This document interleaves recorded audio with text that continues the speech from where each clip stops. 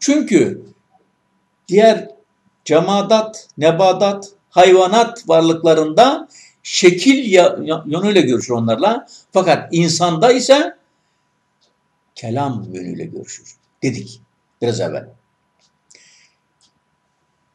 Kendisi Allahu Ekber tekbiriyle başladığı zaman Allah'ın ekberliğini hem söylüyor, söyleyen o, duyan o, idrak eden, Allah'ın her şeyi iade ettiğini, Allah'ın her şeyden büyük olduğunu, her şeyi şemsiyesi altında topladığının idrakı ile kabul eden de o. Namaza başlıyor, okuduğu ister Subhaneke'yi okuma idrak olsun, okuyan kendisi duyuyor. Kendisi zaten bir namazda bir kişi kendi sözünü dudağı kıvırdaması dahi duyması lazım. Ben kulağımı dış kulağımla duyacağım diye sesini çıkararak namaz kılarsa yanındakini yanıltır. Onu fesata uğrattığı için de kendisi günaha girer. Elbette bir kişi dudakları kapalı olarak da okuyorsa sessiz bilsin ki kendisi gönlünden duyması lazımdır. Duymuyorsa mümkün değildir o. Namaz namaz olmaz. Kıyamda duruyor. Hem şeklini izliyor bakın dikkat edin görüyor. Hem kendi ağzından çıkan kelamları kelam kelamullah olarak idrak ediyor. Rukuya varıyor. Subhan Rabbiyal Azim ifadesini hem söylüyor hem duyuyor. Hem ruku halini görüyor. Dikkat ederseniz kendisi görmüyor, kendisi duymuyor. Ondan duymanın, görmenin idraki ile kendisindeki tecellileri bu masardan tecellisini görüyor ve duyuyor. Kim görüyor, duyuyor? Cenab-ı Hak duyuyor, görüyor. Şu halde onunla görüşme kulun mazarından tecellisiyle kendisinin duyması, görmesi demek olduğu anlaşılıyor. Secdeye vardığı zaman, selam verdiği zaman her türlü hareketinde hem görüyor hem duyuyor. Özün sözden, özün masardan nasıl tecelli ettiğini hem görüntüsü var hem duyuşu var. Zaten bir şeyi kulak duyarsa, göz görürse kalp aynen onu tasdik eder. Bir şeyi kulak duymazsa, kulak duysa, göz görmezse kalp onu tasdik etmez. Kulağın duyduğunu göz görürse tasdik eder.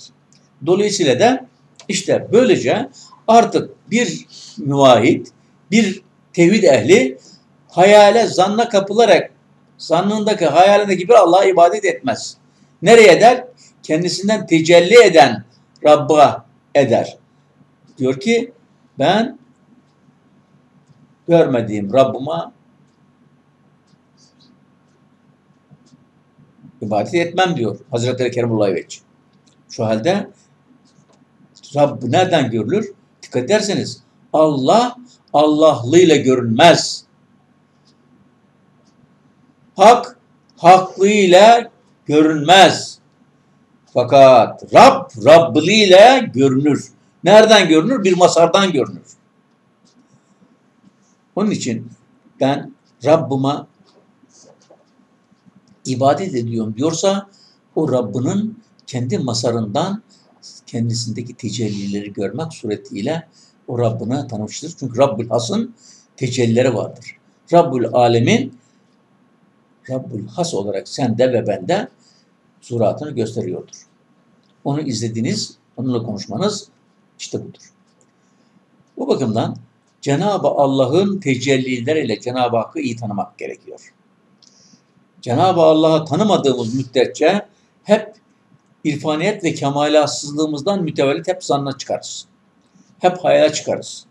Kendimizi seyretmeyi, kendimizdeki olan zikri fikri duyamayız.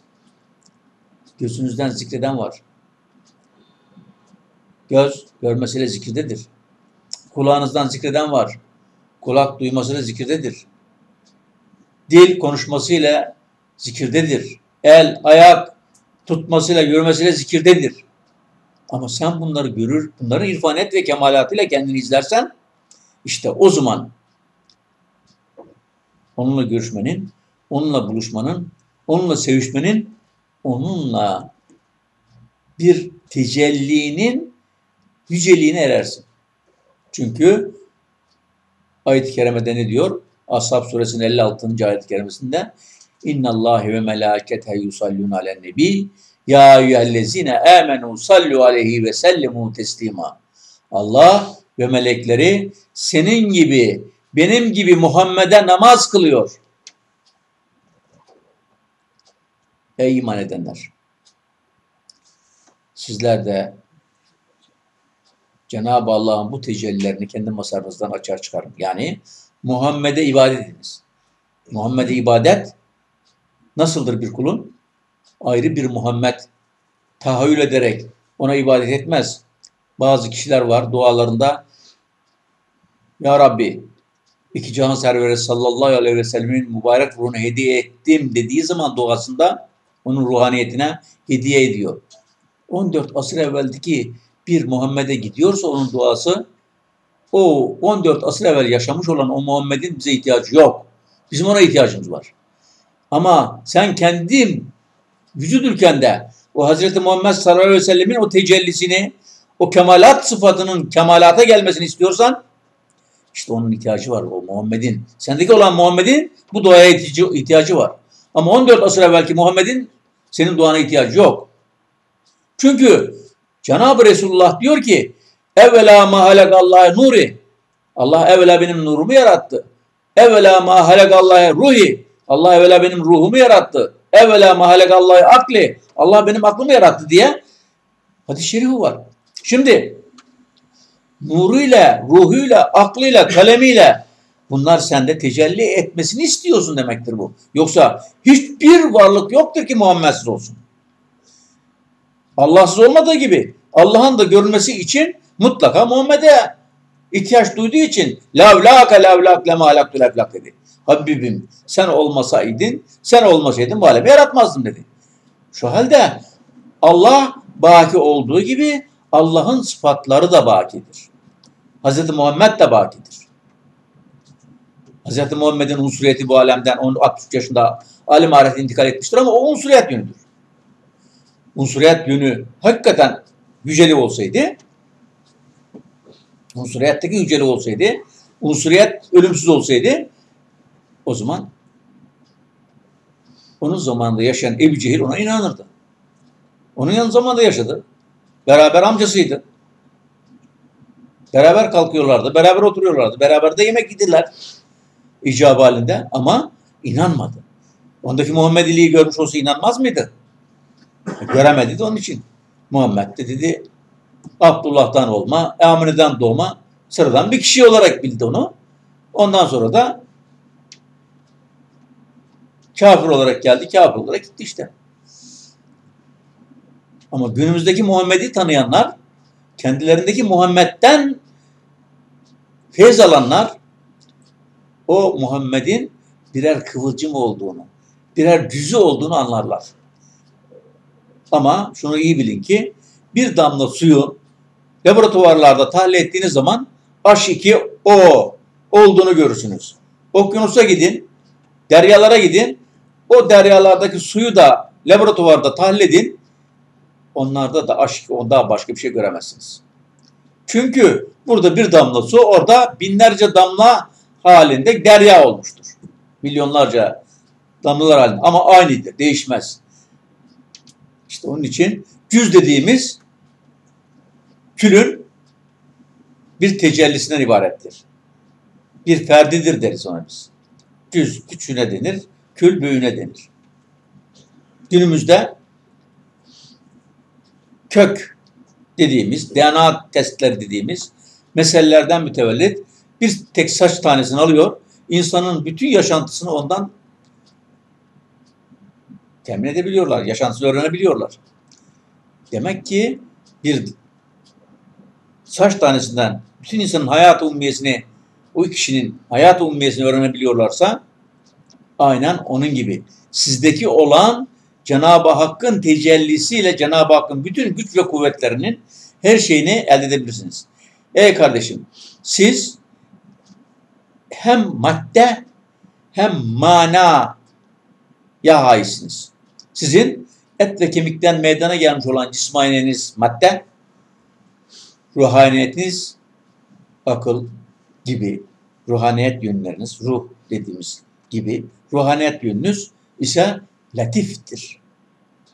O latif yönünüzle siz esas Cenab-ı Allah'ın letafet aleminde yol alabilirsiniz. Ama kesafetten kurtulmadığınız için, yani madde aleminden kurtulmadığınız için maalesef bu huslatta hep madde terazisiyle tartıyoruz her şeyi. Madde terazisiyle tarttığımız için de mana onunla tartılmıyor. Çünkü ayet-i kerimelere de baktığımızda muhkem ayetler var, müteşabih ayetler var.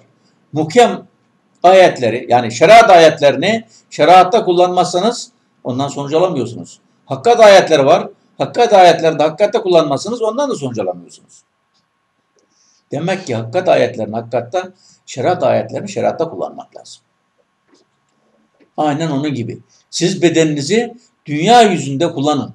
Yiyin, için, israf etmeyin ve bedeninizin bir ruhunuzun hamalı olduğunu, ruhunuzun taşıyıcısı olduğunu idrak ederek onun ruhaniyetinizin sonsuz alemde vuslat sağlamayı kendinize şiar edin.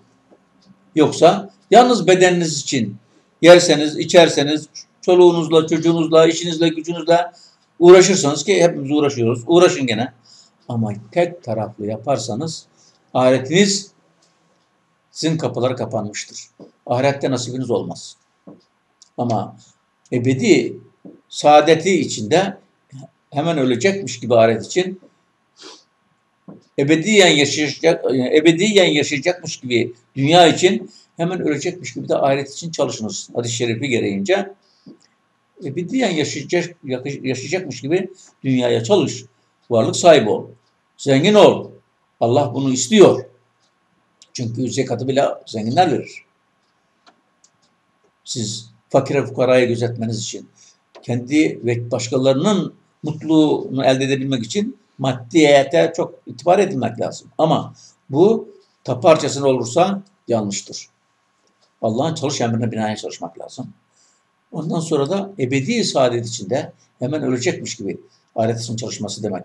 Yani artık bu alemdeyken ahirete çalışmanızın gerekliliğinden bahsediyor. Onun için letafet aleminde tahsilimizi yapmamız lazım. İşte Cenab-ı Allah da zatında Allah vücuduyla mevcuttur dedik. Sıfatlarıyla muhittir dedik. Esmasıyla ihade etmiştir her şey dedik. Fiilleriyle zahirdir dedik. Asarıyla da görülendir dedik. Türkçe olarak böylece ifade ettik. Onun için Allah'ı bu beş hasletin doğrultusunda görmeye, bilmeye ve onunla haşir neşir olmaya özen gösterelim inşallah. Sadakallah öyle.